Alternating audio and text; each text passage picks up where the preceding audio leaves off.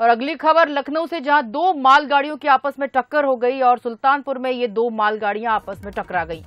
Lucknow Prayagraj railway track बाधित हो गया है, जिसके चलते ट्रेन के छह डिब्बे पटरी से नीचे उतर गए।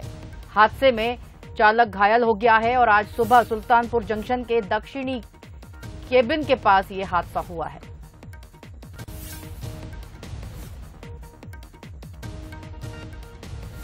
लखनऊ से इस वक्त की बड़ी खबर, जहाँ पर दो मालगाड़ियाँ आपस में टकरा गई, जिसके चलते लखनऊ प्रयागराज रेलवे ट्रैक बाधित हो गया है। छह डब्बे पटरी से नीचे उतर आए हैं।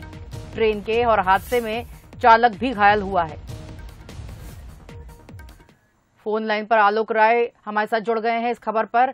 आलोक, जिस तरह से ये जो दोनों मालगाड़ियाँ आपस में टकरा गई हैं, लखनऊ प्रयागराज रेलवे ट्रैक पर, और अभी क्या स्थिति है वहाँ पर?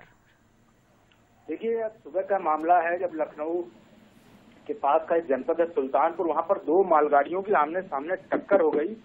और इसकी वजह से जो है, कई जो बोगियाँ हैं मालगाड़ी की, वो इधर उधर गिर गई हैं, जिसकी वजह से पूरी रेलवे लाइन जो है, वहाँ की वो क्षतिग्रस्त हो गई है। और इसलिए लखनऊ जो प्रयागराज का जो रेलवे ट्रैक है, यानी कि उस पर जो यातायात है, ट्रेनों का आवाजाही, वो पूरी तरह से फ़िलहाल बधिर है। आधा दर्जन ज़्यादा डिब्बे जो है, पटरी से उतर चुके हैं।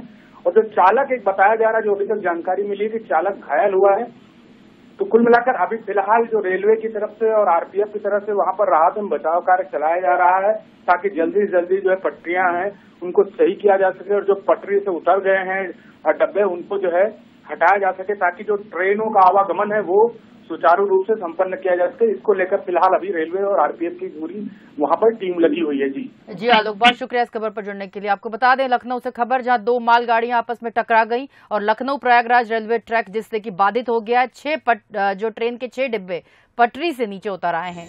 इस पूरे हादसे में चालक घायल हुआ है।